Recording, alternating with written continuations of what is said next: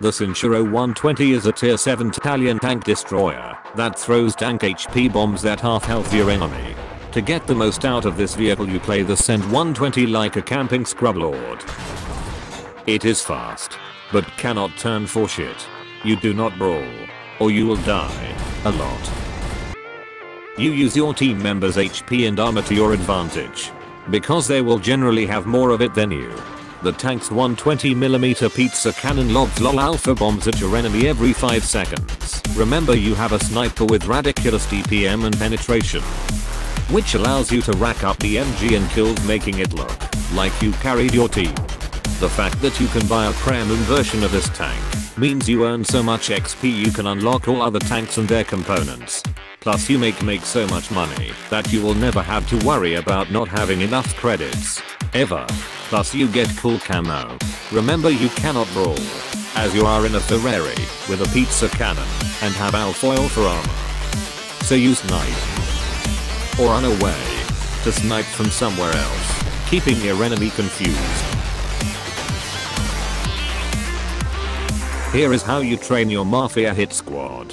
For your chef, you take your sweaty Mexican and teach him quick swap. Because your tomato shells do lots of damage. Take aim. Quick relocation. Anti-material explosives. And fire when ready. For pizza delivery driver you take them smooth ride. And off-road driving. For your pizza cannon operator you teach them quick draw. And shoot from the hip. For your pizza cannon loader you teach them rapid fire and preparation. So when you mess up their order, you can quickly send them the right pizza. Here is how you equip your pizza sniper. Your load mostly APFSDS. And a good amount of dank tomatoes. Don't take any HE as it is almost useless. There are two ways to use your sniper. DPM or pure alpha. To make sure you will always derp by enemies with the best advantage.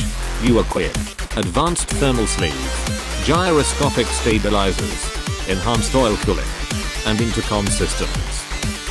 Remember you cannot brawl, as you have alfoil armor, and you will make so much money it will always be worth it. Now you have all of your Mafia pizza delivery equipment, go and spread your Italian cuisine to all those non-Italian cartels.